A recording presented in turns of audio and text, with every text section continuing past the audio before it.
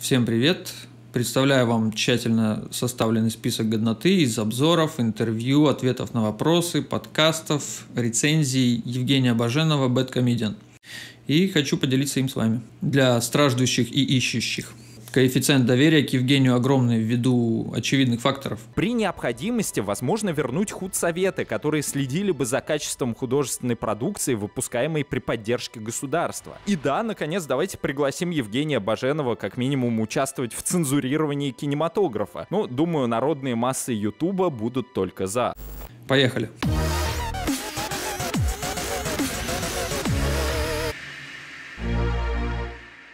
Пойдем в хронологическом порядке, начав с обзоров. И первый выпуск включает в себя три обзора. Это Махакаал, индийский Фредди, Кешка и Фредди, советский триллер, и гей-нигер из далекого космоса.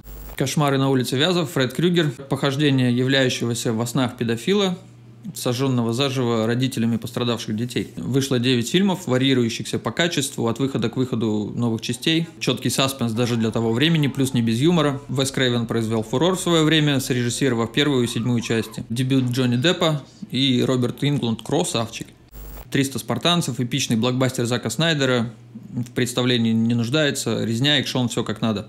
Кевин Смит, ярый комиксист, сценарист, стендапер, режиссер, создал свою вселенную, через которую в той или иной степени проходят два его самых удачных персонажа, Джей и Молчаливый Боб, два укурка раздолбая, решающих проблемы вселенского масштаба. Фильм Оливера Стоуна «Взвод» – серьезный флик о буднях американских солдат во Вьетнамской войне. Беспредел на пике, философские размышления солдат в перемешку с мясорубкой, показанные Стоуном без прикрас. В правильном переводе Гоблина, конечно. Сильвестр по талонам создает движуху уже почти полвека, дебютировав в 76-м в «Роке», не считая порнушки, в которой, как он сам утверждает, он участвовал только для поддержания штанов, стал спонсироваться клюкводелами, разматывая злодеев всех мастей и во всех уголках света. Тем не менее, в жанре экшена это топчик. Саут Парк – длиннющая эпопея, начавшаяся в 97 году, всего 24 сезона и два полнометражных мультфильма, плюс 900 миллионный контракт с создателями на продолжение. Высмеивание стереотипов, э, шаблонов, загонов, что в принципе одно и то же в правильном переводе Гоблина. Следующими идут «Звездные войны 5», мегаэпопея со множеством частей, спин анимационными фильмами. Ремастированная Лукасом первая трилогия определенно заслуживает внимания. Буйство красок и космический юморок с Харрисоном Фордом. «Терминахтер» — это наше все по крайней мере, первые две части в правильном переводе Гоблина. Это если на серьезняке или в смешном переводе «Держи морды».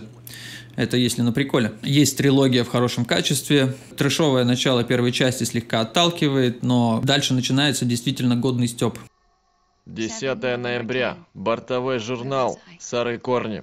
В итоге первой массированной операции по истреблению гопников был раздавлен и смешан с говном чугуннолобый урлабан.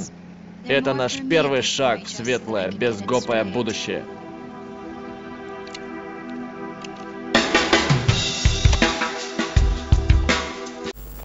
Слышь, мужичок, оплатить кто будет, Пушкин?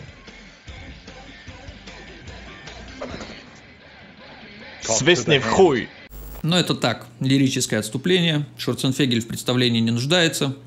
Первая часть самая жестенькая. Следующими наш сумбурный список продолжает «Звездные войны 4», и это надо видеть. «Бесславные ублюдки Тарантины», фантазия американцев на тему победы во Второй мировой. В данном конкретном случае потерпевшие фиаско, тем не менее, уже умиляют и снято так, что хочется пересматривать. И троечка годноты новогодноты Четкий сериал от sci-fi, клепающих подделки, в данном конкретном случае удивил и порадовал. Наемник, которому после клинической смерти мерещится мультяшный синий пегас, втянут в заварушку с извращугами, маньяками и отребием, от которого он сам не сильно отличается, но тем не менее ему сопереживаешь. Вышло два сезона. Санта Киллер довольно старенький новогодний комедий слэшер с рестлингистом Амбалом, играющим Санту, который разматывает всех, кто ему не нравится пережить Рождество с Афликом и Гандальфини. Классная, трогательная комедия. На этом все. Всем пока. Подписывайтесь, ставьте лайк. Всего хорошего.